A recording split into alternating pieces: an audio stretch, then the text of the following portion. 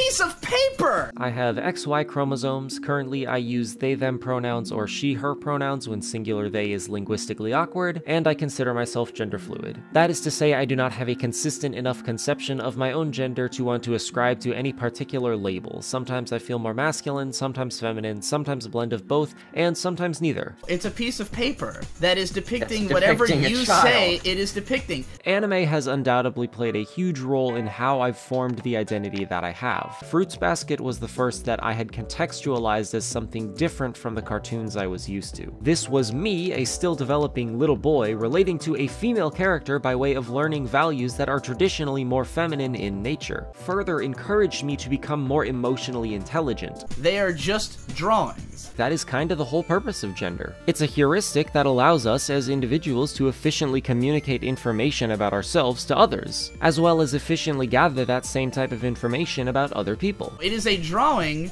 that can be interpreted however the fuck you want to. I began questioning my gender among a myriad of other things about myself while still maintaining my interest in anime without ever considering that maybe the fact I wanted to look like basically every character I saw on screen might have said something about how the medium had influenced me. It's a bunch of a lines on a piece of paper. So naturally, I turned to the internet. I leaned even harder onto the web as an outlet for that expression. I began seeking out more media about queer characters. I got more public with my pronoun usage. I made the avatar that I currently use. I'm attracted to them because they're a drawing. The most condensed, hyper dramatic versions of issues that I can relate to, and the stance that is unlike anything I have ever seen before. You know, looking at these types of art helped me to like reconcile with myself. Whether I end up going completely trans female, sticking with gender fluid, or identifying as the fourth ring of Saturn, I can't wait to find out. I was very confused about my body and why this happened.